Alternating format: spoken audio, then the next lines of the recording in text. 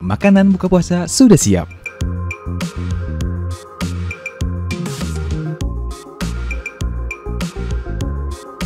Hmm, aromanya mantap. Waduh, ternyata masih siang. Ya, keburu dingin nih makanan. Hmm, aha, saya punya ide.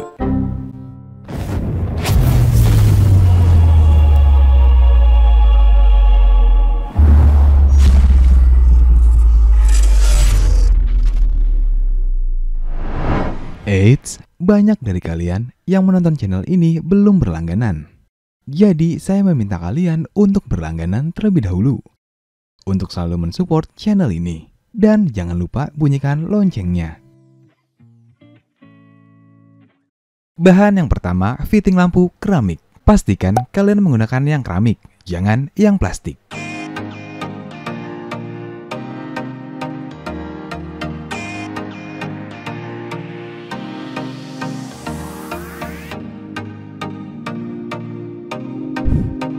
Bahan kedua, tudung saji lipat seperti ini.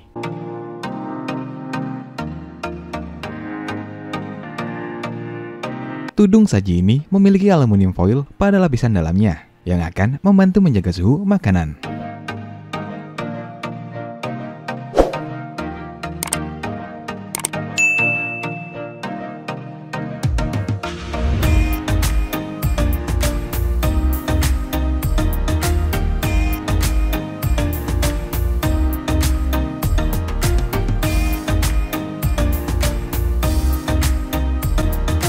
Nah, saya akan memasang fitting lampu ini pada tudung saji seperti ini.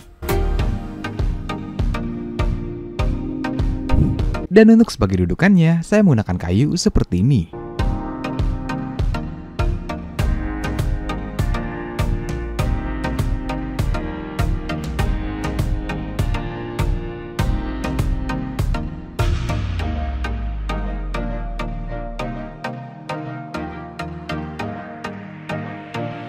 Setelah itu, baru kita pasang pada tudung sajinya dengan menggunakan pengikat kabel.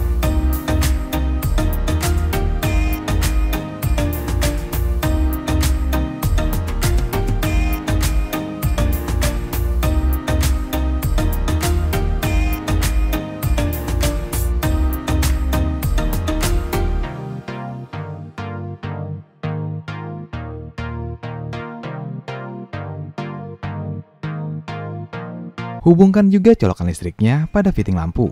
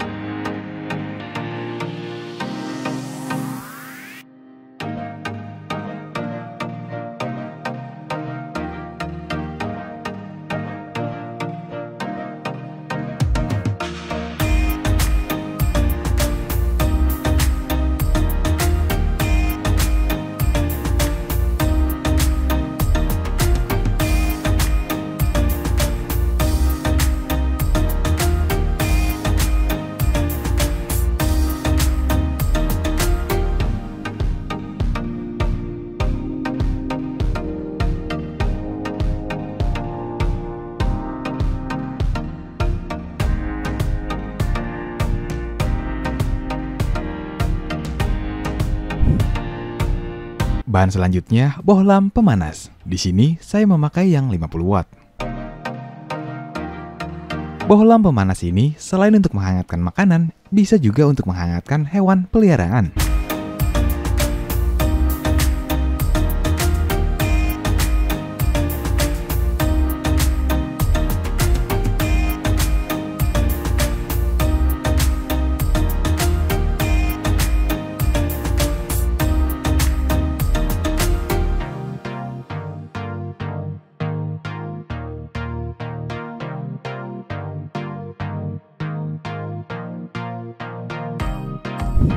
Setelah itu, pasang bohlamnya pada fitting lampu.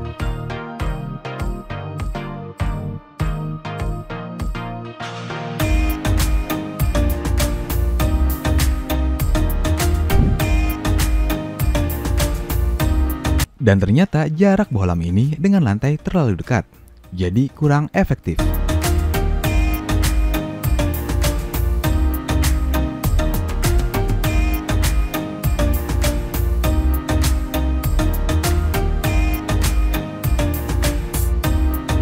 Jadi terpaksa saya harus membongkarnya.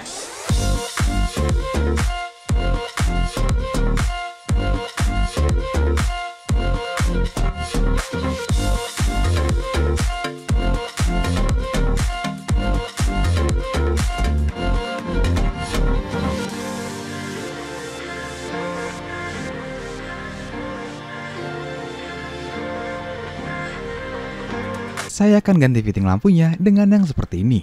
Fitting lampu ini juga terbuat dari keramik dengan bagian luar yang terbuat dari besi. Jadi aman dan tidak akan meleleh.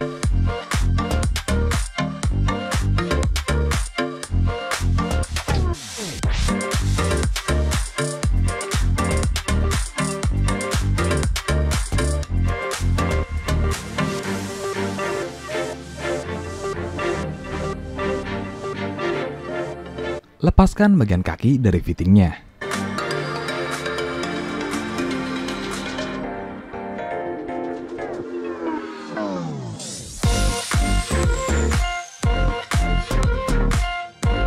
Dan saya juga akan memindahkan kabel dari fitting ini ke belakang seperti ini.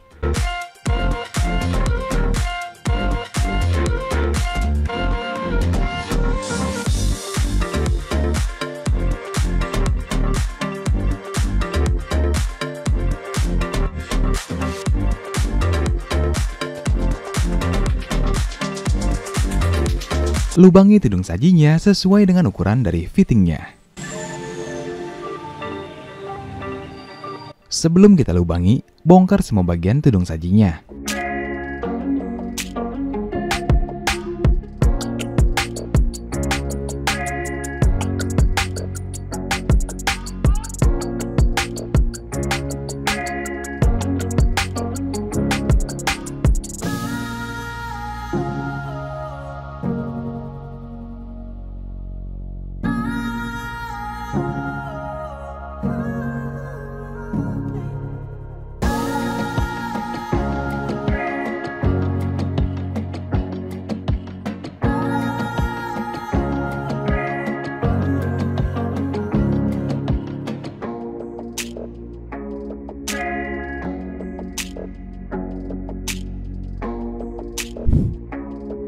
Saya akan memasang semua rangka tudung sajinya pada fitting lampu menggunakan kawat seperti ini.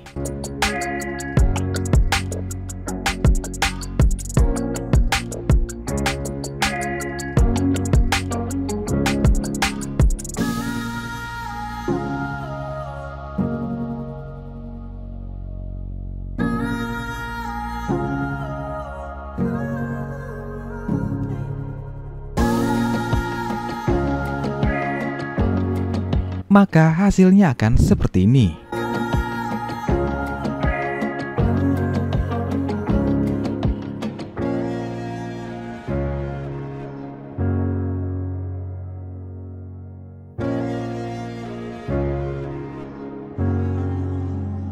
Pasang bohlamnya pada fitting dan sambungkan juga kabel colokan listriknya.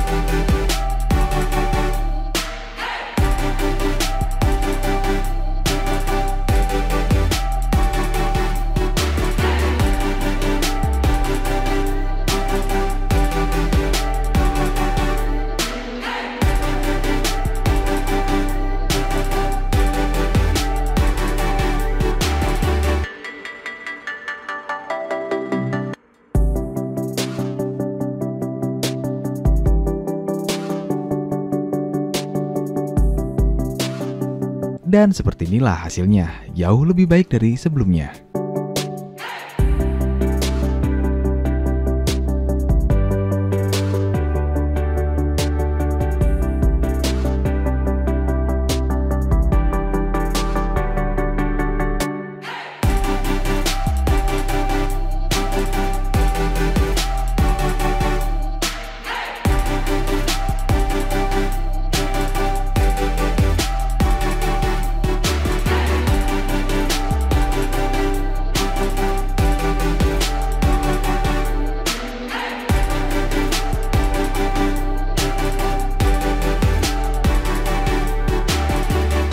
Untuk melihat hasilnya, saya akan letakkan termometer seperti ini. Dan suhu 30 derajat ini adalah suhu ruangan.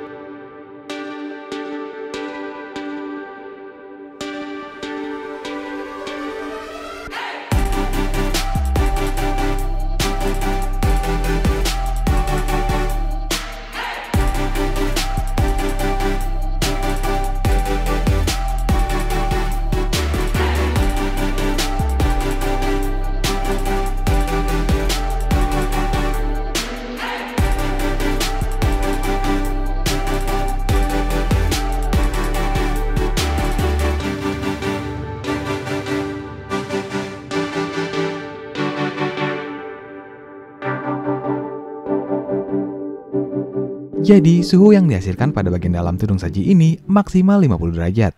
Jika kalian ingin suhu yang lebih tinggi atau rendah, kalian tinggal ganti watt dari bohlamnya. Jadi, tinggal disesuaikan saja watt yang ingin kalian gunakan. Oh iya, satu hal lagi. Saya menyarankan untuk kalian membuat handle pada bagian ini, agar tidak panas untuk mengangkatnya.